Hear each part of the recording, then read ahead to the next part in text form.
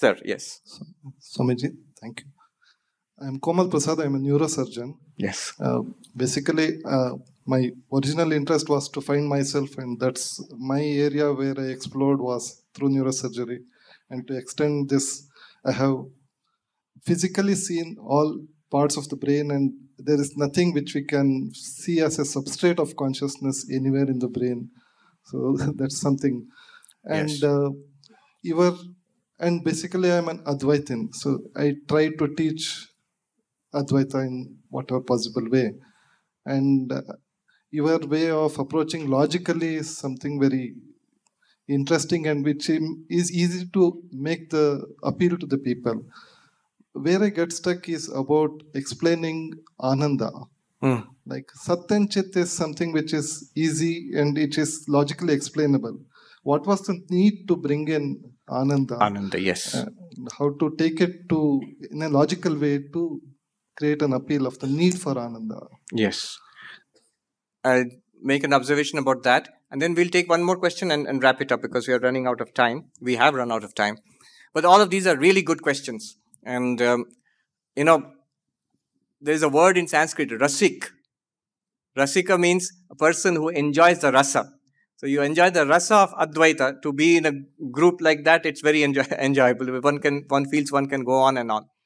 But I won't, I promise. People are beginning, are beginning to look horrified. yes. Um, before I talk about the Anand aspect, the um, uh, neuroscience, it's good that uh, it's, it's, we are in a very exciting new time for neuroscience uh, and for consciousness studies.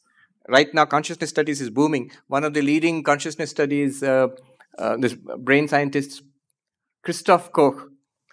So I remember he was in a debate with David Chalmers, and I attended that debate, and uh, it ended with I think one of them, maybe David Chalmers, pouring a glass of water on top of Christoph Koch in in humor. But Christoph Koch said that when I entered this field, consciousness studies, uh, my colleagues told me you are killing your career. This will never go anywhere. Nobody, you cannot make any discovery. It is a too ambitious a subject. But now you see, it's a it's a hot subject. It's really people are very interested in it. Anand aspect, yes. Uh, often uh, when I speak, some people notice after some time you're talking about Sat and Chit. You talk about existence awareness. What about Ananda? When will I be happy?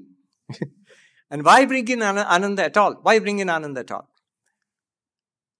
You know, recently it struck me one answer to your question. It struck me the three greatest questions in philosophy, all of philosophy, three greatest, uh, the branches of philosophy, the mainstream branches of philosophy, uh, metaphysics, now it is known as ontology.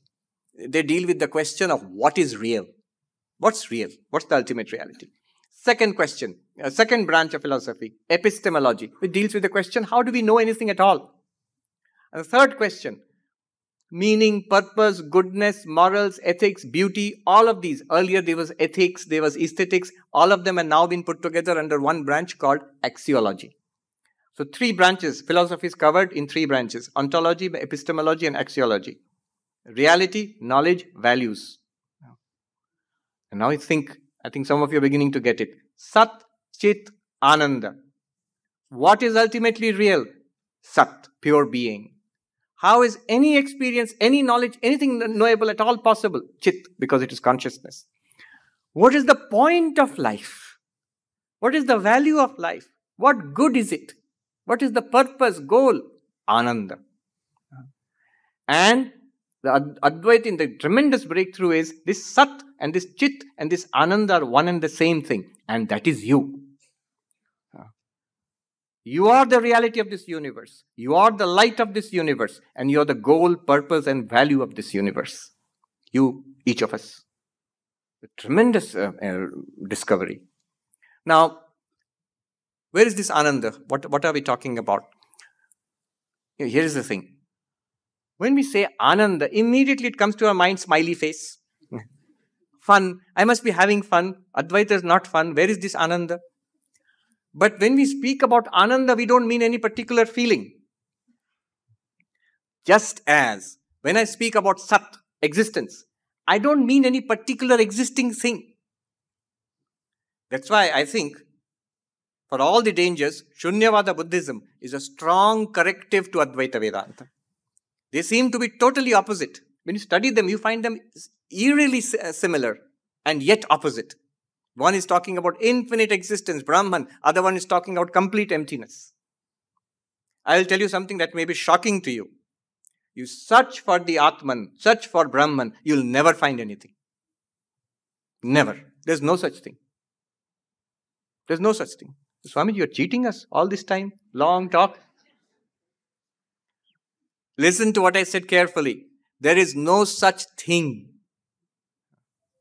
Okay, there's nothing. No, not nothing. See, things, existing things are one, one level of reality, but existence itself is a deeper level of reality. What I mean by saying there is no such thing as Atman Brahman, I mean that Atman Brahman is not a thing.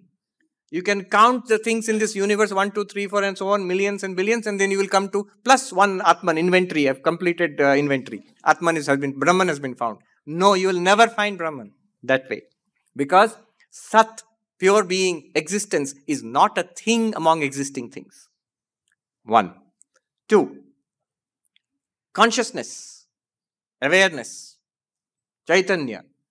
It is not one type of conscious experience. Seeing, hearing, smelling, tasting, waking, dreaming, deep sleep. And then one more thing, pure consciousness. You say, Swami, I just caught you now. Upanishad says, waking, dreaming, deep sleep, turiya, Gross misunderstanding of Advaita Vedanta. Gross misunderstanding.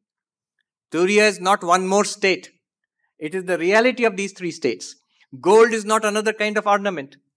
It is the reality of all these golden ornaments. Which is more real? Don't say ornament. Gold is more real. So, chit, consciousness, is not another type of conscious experience. Now take up ananda. What kind of ananda? So some joy, more joy, tremendous joy, and beyond that ananda, Swami? No. What is joy? Greater joy, greatest joy? Priya, Moda, Pramoda, all these Upanishadic terms. All of them are manifestations of one reality. That's that is Ananda. But Ananda by itself is not a particular, you know, what Americans would say, particular high. they all all seeking a high, new high. Marijuana gives one type of high, and Vedanta will give another type of high. No, it's not another high. It's not a high or a low. That which underlies all your highs and lows. Shankaracharya says, there is an ocean of bliss within, within us. The spray, just the spray, the droplets of water, the spray from which all of humanity is madly running after, life after life. The entire ocean is within you means it is you. That is Ananda, not a particular type of bliss. Just as Sat being is not a particular existing thing, Chit is not particular type of experience. All experiences are possible because of Chit. All existing things, smallest to biggest, is possible because of Sat. And all value, purpose, goodness, beauty in life, all fulfillment is possible because of Ananda. Still, the question will be nagging. So, when I realize I am Brahman, Satchidanand, I will not feel happy. That is my whole goal. You don't have to worry about that. You will feel very happy, guaranteed. Just look at the lives of enlightened people. Look at their faces. Any tradition you find, I'm not talking only about Advaita Vedanta here whether it is a devotional tradition, whether it's a Vedanta tradition, enlightened people in every spiritual people in every uh, spiritual tradition are very, very happy, very fulfilled, the happiest and most fulfilled in all of life. Some people ask, all this is great, but it sounds very boring. After I realize I'm Brahman, it's finished. No, it's finished. Very boring. No, it's not boring. Proof. Look at the lives of those who have realized. Are they bored? One thing, they are never. They're never bored. They're always bubbling with fresh enthusiasm, happiness. Uh, if you take a psychological test of those people, they will come out as off the charts happy. Off the charts happy. Yeah. Hmm.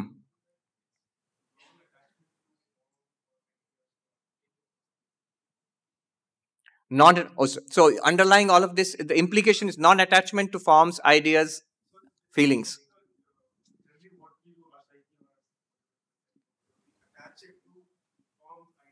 Yes. It's, it's right. The question is so, aren't, is this the implication that non attachment to forms, ideas in our psyche, we attach it to the, this way? So, isn't this the implication of what you are saying? Absolutely. Remember what I uh, said that uh, at the level of mind, this um, samatha, saying, seeing the same everywhere. At the level of our activities, day to day dealings with the world, detachment. Yeah, that's the implication. And if you practice it from that side, you will the path to realization become much faster, much much more clear. Non-identification, yeah. because in your real real nature, you are not identified with anything. Good. I think that's a wonderful discussion. Let me do a.